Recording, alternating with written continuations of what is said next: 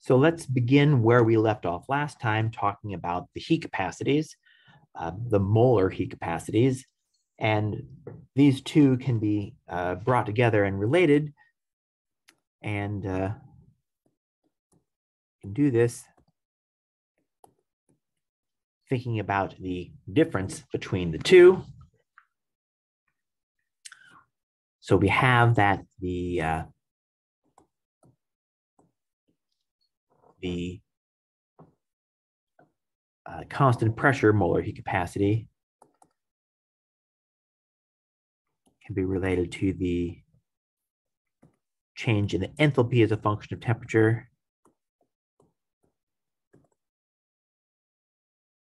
And the constant volume heat capacity related to the uh, change in the internal energy.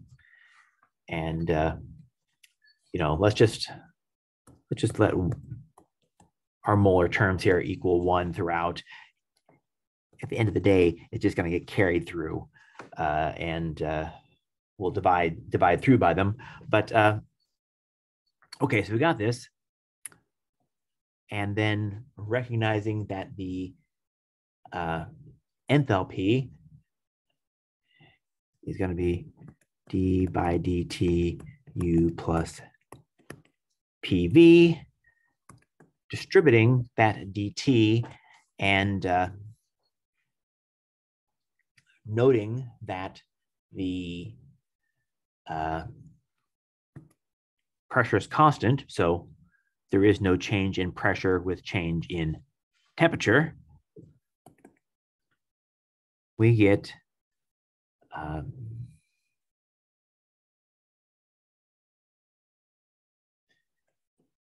du by dt p plus p du by dt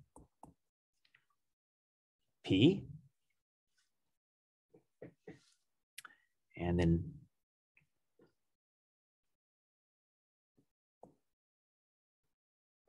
Uh, looking at this, we have the internal energy that can be written as a function of the volume and temperature. So we can write our total differential du is equal to du by dv t dv plus du, oops, sorry, partial dt dt constant volume.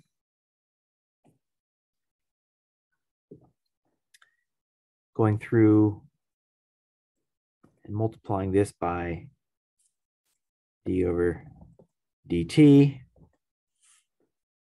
we get du by the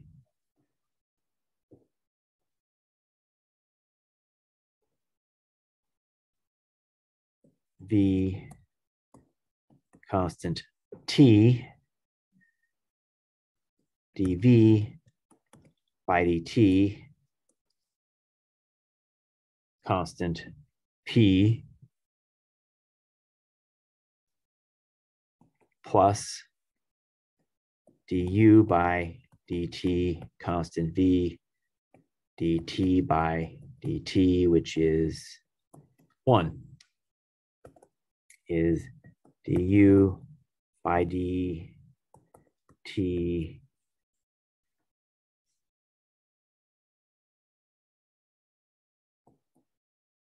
p.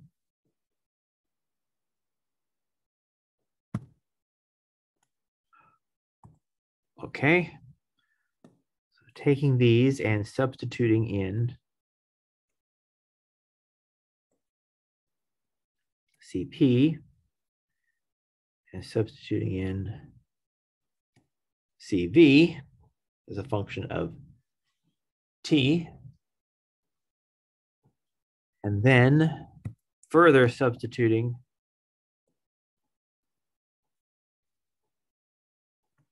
du by dt p.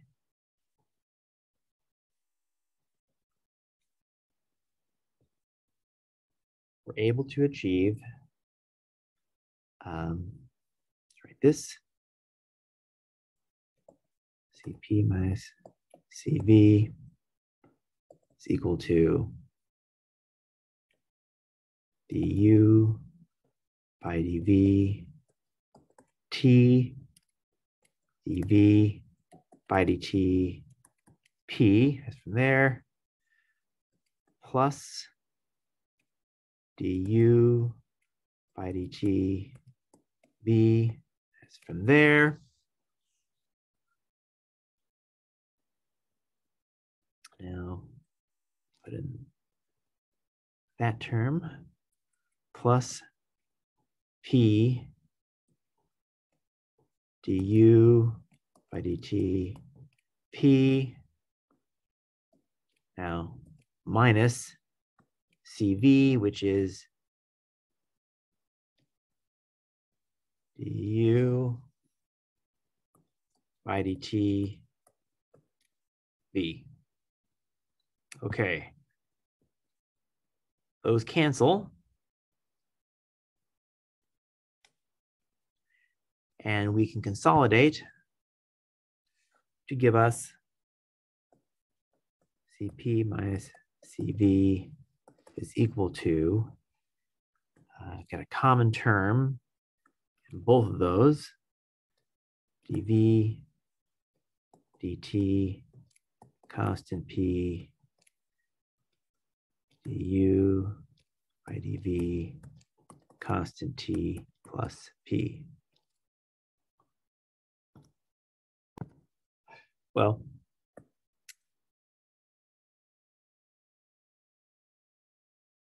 so your textbook leaves off the derivation at this point, uh, but let's uh, step through the next couple steps here. We have an ideal gas And that is by definition, du by dv is zero.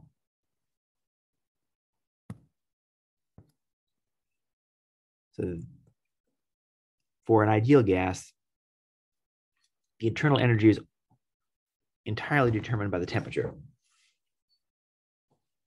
Uh, this is not the case for real gases, however. But for an ideal gas, we got this. And what that means is it means that this term is going to go away. And that leaves us with Cp minus Cv is equal to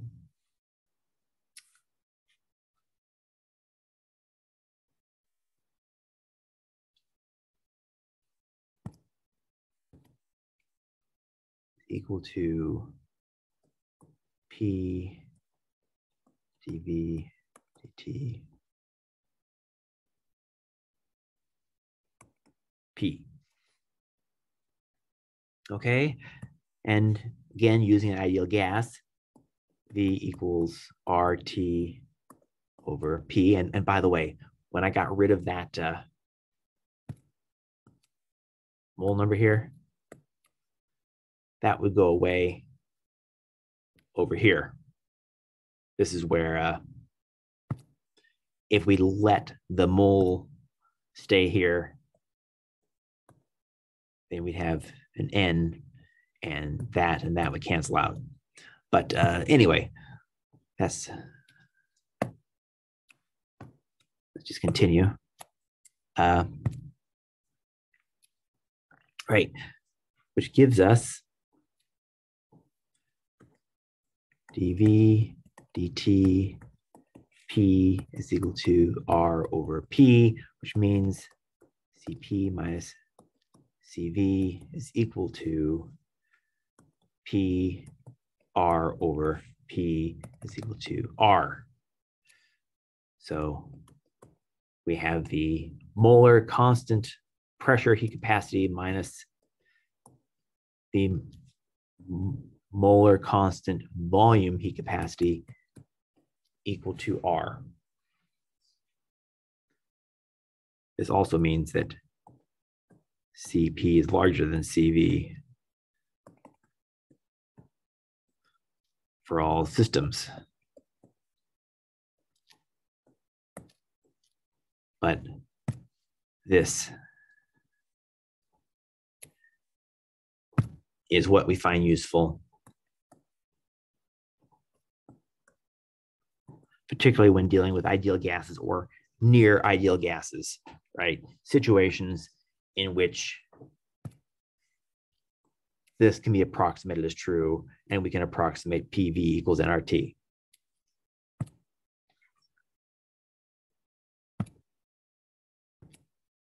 So now let's consider let's consider reversible changes of state in the system.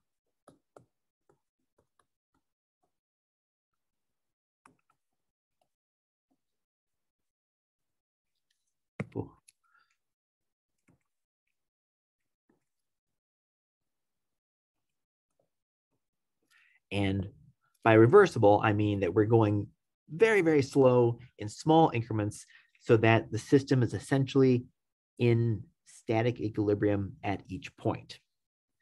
Uh, the way to think about that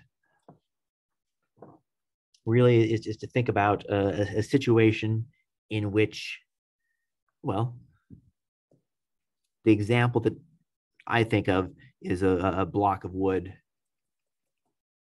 and it's being moved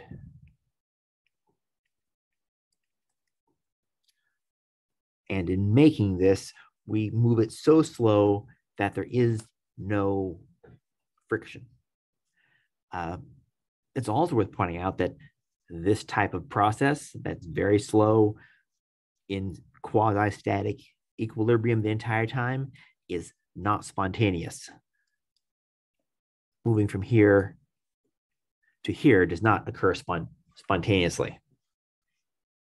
Another way to think about it is to think about yourself on some energy curve, say temperature pressure, and you can have you know, volume or internal energy or what have you. And you've got your energy surface. At all times, you stay on the same energy surface meaning you can always come back to the original point. Now, it turns out, and we're kind of foreshadowing here, there are multiple of these surfaces. And in fact, you've got layers and layers of these surfaces on top of each other. But if you pass from one of these layers to the next, it becomes irreversible. And it becomes irreversible due to a change in the entropy. And we haven't talked about that yet, but what you should know is that a reversible process is not spontaneous and you're staying on the same surface in your equation of state at all times. So you can always come back. So let's let's talk about uh, a couple types of transitions. One type is a type where the system absorbs no energy or no heat, right? That means work only, and we call this an adiabatic transition. And in this case,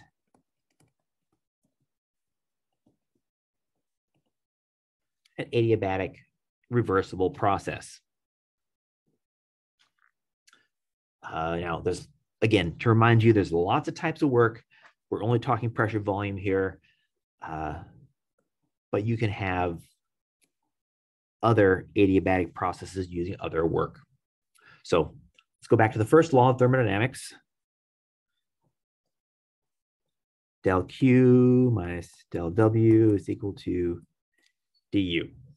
Okay, well, that we've just outright set to zero.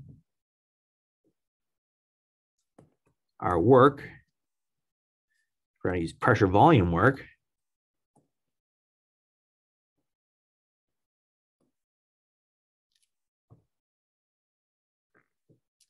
And this will allow us to use PV equals N. Ah, let's try nicer writing. PV equals N RT. And our du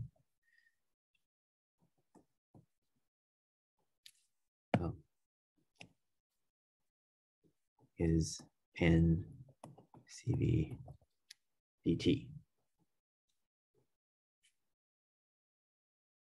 So this gives us nRT over V dV equals N CV dt. N's are going to go away, so we don't have to think about those anymore. And we have this expression. Now, something I do want to point out here, and again, this is a uh, this is something that I found confusing when I first started was the fact that here we're varying V and here we've got a constant volume. Well, remember this constant volume heat capacity, that's just a number. I mean, that is, you know, a measurable quantity. So you're allowed to take and substitute in known expressions for differentials as needed. And that's why we're able to put this type of expression together. Now let's uh, continue. Whoop, I made a mistake here. Uh, that negative sign, that has to be here as well. Okay, so let's uh, move my temperature over to that side. And this gives me minus R over V dV is equal to CV over T dt. Integrating both sides from state V1 to V2, T1 to T2 we get, whoa, we get minus r natural log of v v1 v2 is equal to cv natural log t from t1 to t2.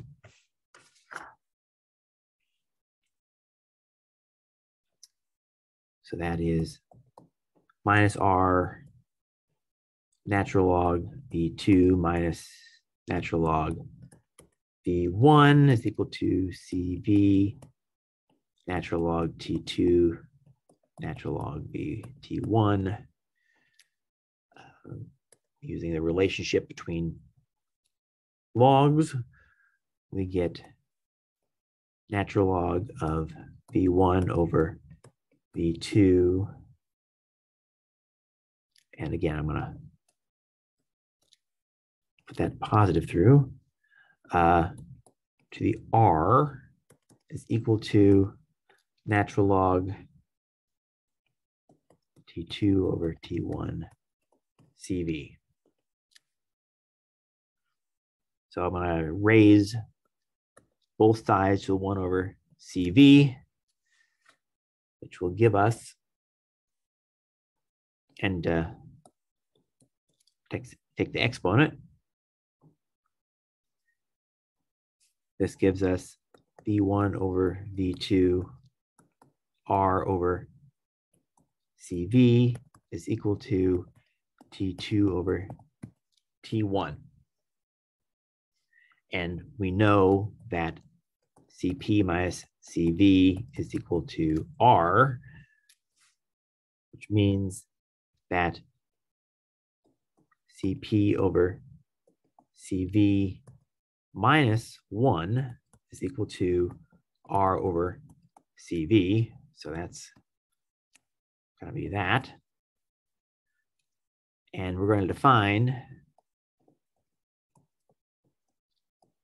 gamma as Cp over Cv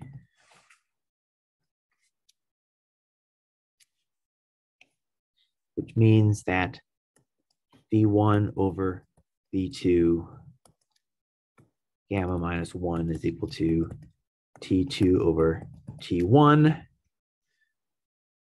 And using PV equals nRT there, we get uh, V1 over V2 gamma minus 1 is equal to P2 V2 over P1 V1. I can then multiply both sides by V1 over V2, and we get V1 over V2 gamma is equal to P2 over P1, which is P1 V1, the gamma is equal to P2, V2 to the gamma. And this can only be true, that whole thing, if this is equal to a constant. So this is an expression that is a consequence of an adiabatic transition. And this is a reversible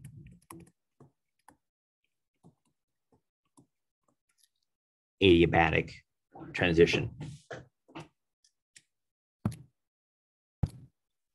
Okay, so that's that's one type of transition. Let's look at another if instead of uh, adiabatic, what if we had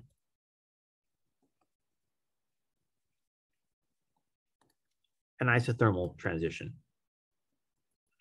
dt is equal to zero. Well, we have an ideal gas.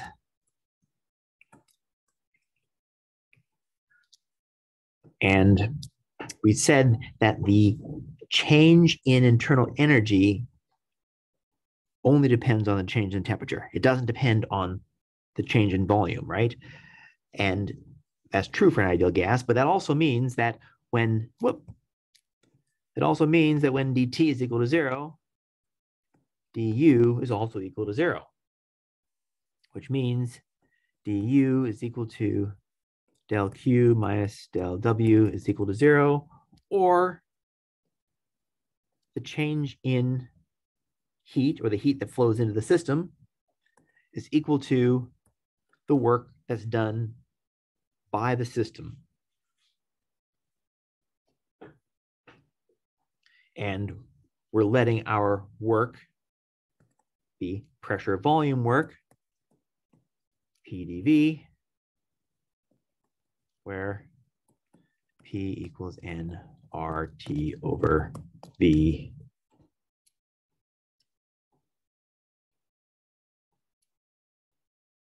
So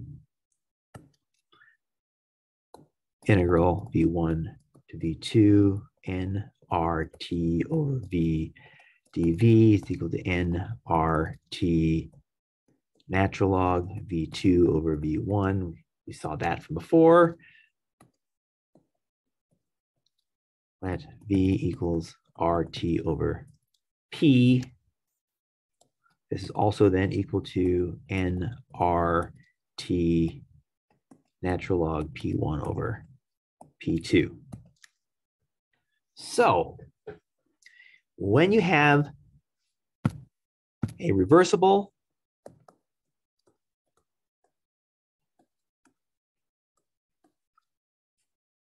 isothermal expansion, you wind up with Q is equal to W. So the heat flowing in is equal to the work being done is equal to N R T natural log VT over V1, which is also equal to nRT natural log of P1 over P2. And that's a consequence of this type of expansion.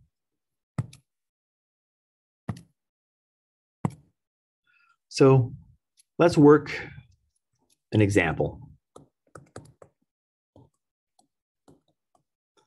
we'll have an example of uh, an isothermal, a reversible isothermal transition, and a reversible adiabatic transition. So let's say we start out in the state.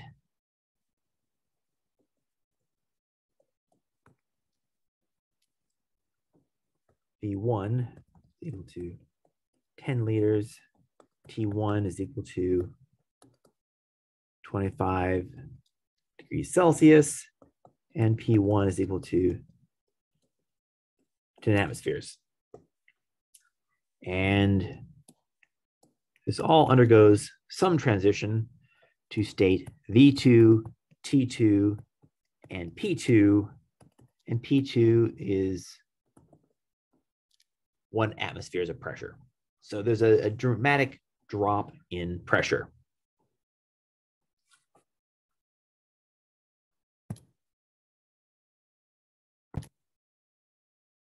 And you know we'll use the standard the standard uh, approximations that we have an ideal gas with cv is equal to 3 halves r and uh, the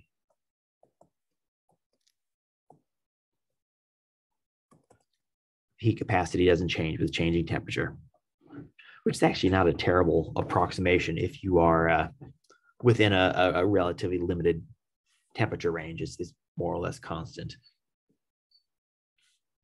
Okay, so let's begin with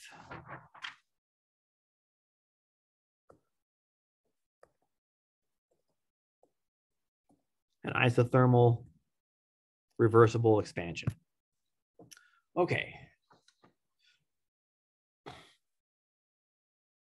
Well, before we get ahead of ourselves, let's get n is equal to p1 v1 over rt1 is equal to 10 atm 10 liter over 25 plus 273 Kelvin times and we got to pick the proper quantity here for R. Uh, R, that is 8.206 times 10 to the minus 2 ATML over K mole.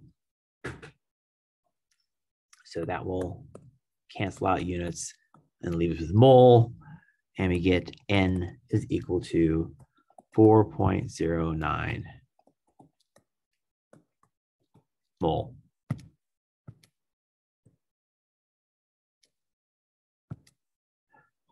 Okay. So isothermal reversible.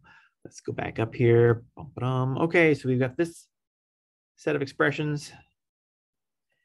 In order to use that, we need to have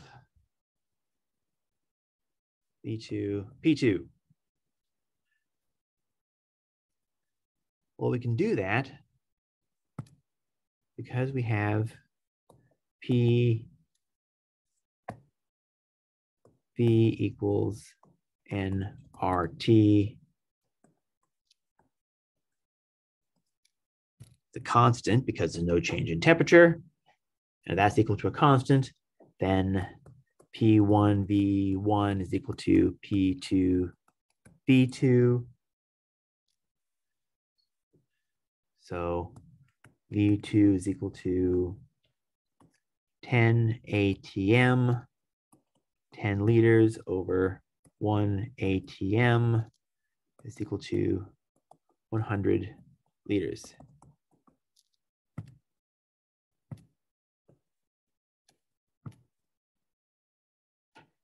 And then we can have Q is equal to W is equal to nRT natural log P1 over P2 is equal to nRT natural log V2 over V1. And this is going to be uh, 10 over 1. This is going to be 100 over 10. Everything works out, self-consistent. Give ourselves a little star there. And when we substitute in the numbers, we get Q equals W equals 4.09 mole times 8.314 joule per Kelvin mole times 25 plus 273 natural log 10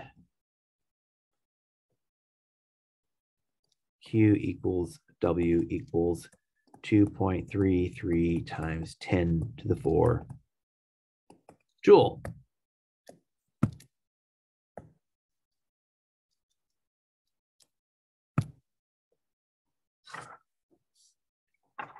Okay, now it's an ideal gas. So dt equals zero implies du equals zero.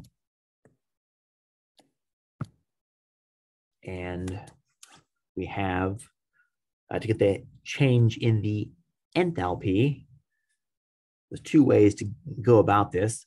One is to say CV equals three halves R CV equals NCV equals N3 halves R. CP minus CV equals R. So CP equals N CP minus N CV equals N R plus N 3 halves R and integral dh from h1 to h2 equals, uh, well, delta h uh, is equal to cp dt t1 to t2 is equal to well, Cp delta T zero. So delta H is equal to zero.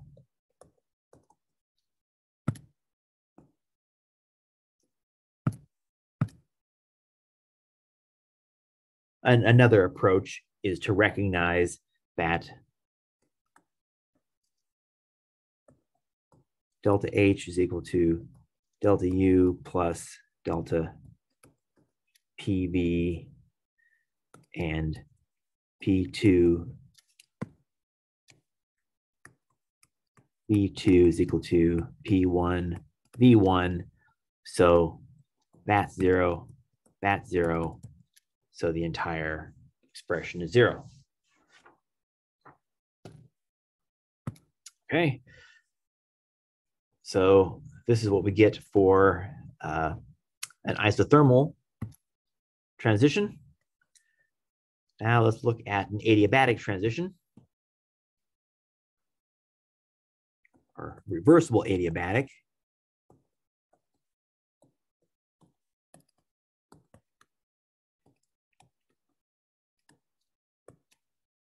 All right, so now it's adiabatic. So, oops.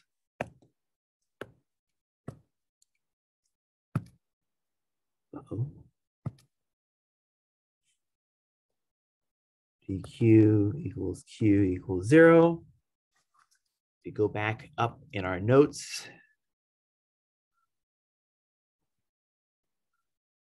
we have this expression that comes about for a reversible adiabatic transition. So we come down here, we say P2 V2 gamma equals P1 V1 gamma equals constant. V2 is equal to P1 V1 gamma over P2 is equal to 10 ATM 10 liters to the gamma over 1 ATM. I'm going to raise all this to the 1 over gamma. Using gamma is equal to CP over CV is equal to R over CV plus 1 is equal to 2 thirds plus 1 is equal to 5 thirds, right? Because CV is equal to 3 halves R. So substituting in 5 thirds, we get V2 is equal to 39.8 liters.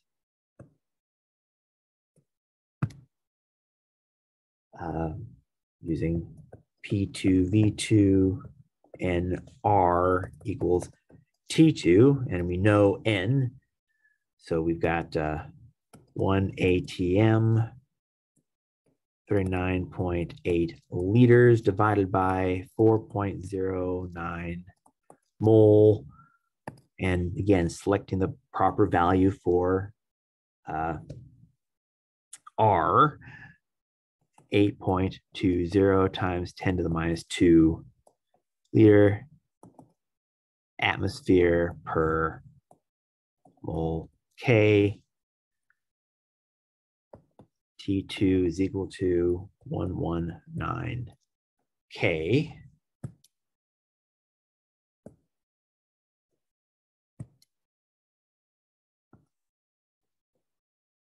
And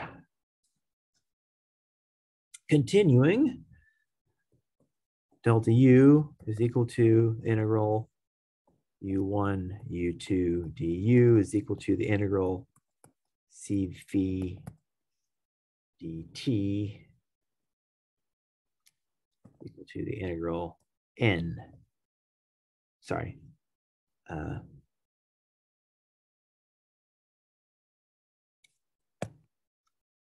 equal to cv dt is equal to nc v dt from T1 to T2.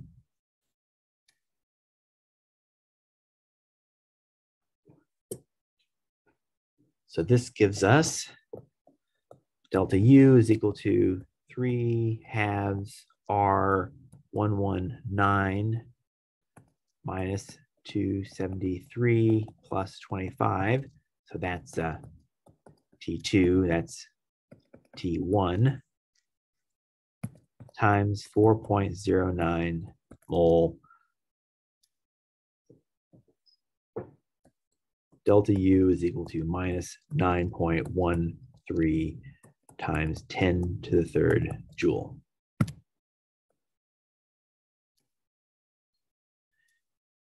And our definition for the enthalpy, delta H is equal to delta U plus delta PV is equal to uh, delta U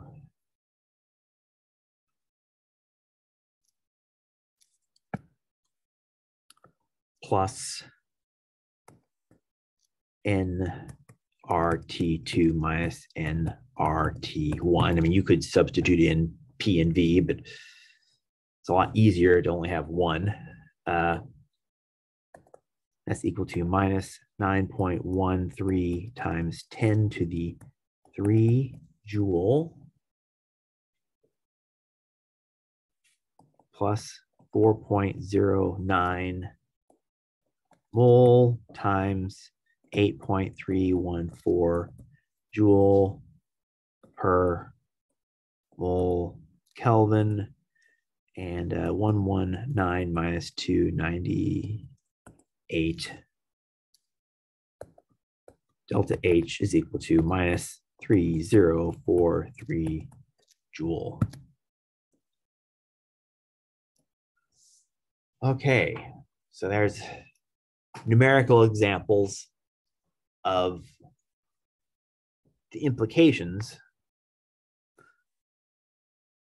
of uh, reversible isothermal expansions or reversible adiabatic expansions.